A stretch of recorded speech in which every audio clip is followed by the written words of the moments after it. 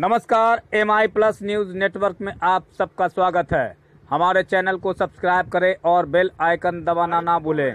संदिग्ध परिस्थिति में विवाहिता ने लगाई फांसी। यह घटना बहराइच फकरपुर थाना बौड़ी क्षेत्र ग्राम सभा दकेड़वा के मजरा नथुपुर में बीती रात दीपा पत्नी धर्मराज आयु 30 वर्ष ने अज्ञात कारणों से फांसी लगाकर आत्महत्या कर ली। Bureau report. गरम रहा कल।